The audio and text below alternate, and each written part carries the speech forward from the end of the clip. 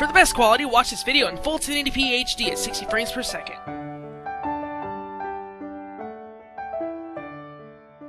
Hey everyone, what's up? It is the UnproPro here, and welcome to the new series of RPG Maker tutorials. This is covering scripting. I know I've done similar to this before, but this is remastered, this is full HD 1080p, and at 60 frames per second, so I hope you guys can enjoy that, and uh, have fun with it, yeah. So, let's go ahead and get started. Uh, today I'm going to be explaining how to draw a graphic on the screen. Uh, I'm going to start with the simple things, and then we are going to move on to the more advanced things. Now, what I cannot do uh, yet is make a battle system. Uh, I can make a generic one, but I can't do the battle animations right now. But by the time this is done, I might be able to do that. So, let's go ahead and get started to make a comment in your scripting, which are very helpful. They help you, um, help both you and whoever's reading your script. Like if uh, if you're making a script for people, it helps them kind of better understand what's going on. Uh, it also helps you kind of know where things are. To make a comment, you just put a little hashtag or a number sign, and you can also type equals begin, and that will actually make a line or make a comment where you can have multiple lines. To end off that comment, make a new line and type equals end. So this is this is really good. You might you might you might see this uh, for stuff like this, but without using the bunch of numbers. Uh, if you if you ever actually done if you ever actually used a custom script, uh, you got one from some website or something, you might see similar to equals begin and equals end.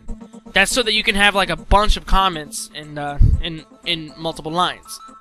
Now let's go ahead and get started here. Uh, the class my scene. That's the name of the class. Very important. It's very case sensitive. You want to make sure all your capitals are proper. You can name it whatever you want, whatever capital you want. I don't think it could begin with a 1. No. Hey, um, it cannot begin with a number at all. Alright, uh, and then we have the little less than sign, the little, uh, left arrow pointy thing, and we have scene underscore base. This is calling all of the functions inside of scene base. So it's it's almost as if you, uh, all of these functions um, are in here. It makes all the functions that are, it makes all the DEFs and functions that are inside of scene base uh, able to be called from here. Okay, so um, as you can see, I also made a little comment here. Those, again, those are really helpful. That says create the class. It tells you what it does. Right here, we're going to type def start, which defines uh, what happens at the start of the script. So we're to type super, which I forget what super really does, but um, after that, we're to type draw graphic, and what that's to do is it's going to call this def right here. So it's the same as just taking this and putting it underneath super. But it helps organize things. So we're to type draw graphic, and then we're to uh, we're to type end. We're to end off this definition, or we're to end off this DEF, and then we're to type DEF draw graphic, and then we're to type. Now this is very case sensitive. Um, when you're doing this, you can you can start the name of whatever you want.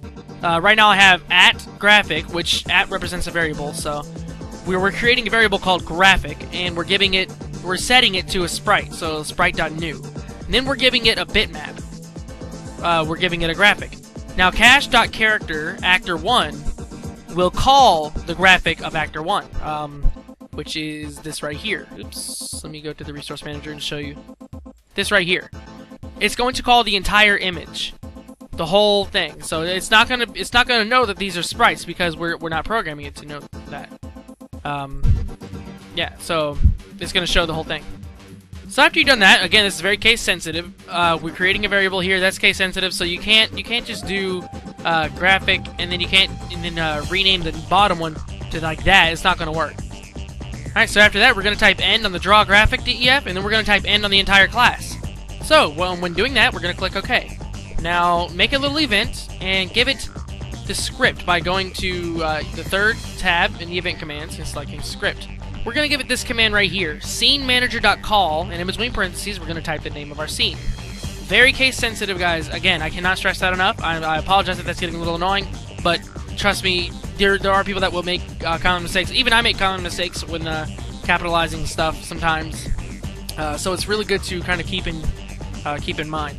Scenemanager.call. Uh, in the name of your scene.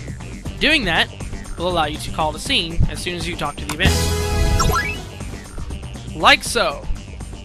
There we go. So now we've made our first little script that draws a graphic on the screen. It doesn't really do much. Nah, it does... It's uh, pretty much a base to learning, so yeah. And that's going to be it for this tutorial, so I thank you guys very much for watching, and I'll see you later. Let me know on a scale of 1 to 10 how you like this video in the comments, and let me know why. Don't forget to leave a like and share if you enjoyed. It really helped me out a lot. I'll see you guys later. Thank you all so very much for watching.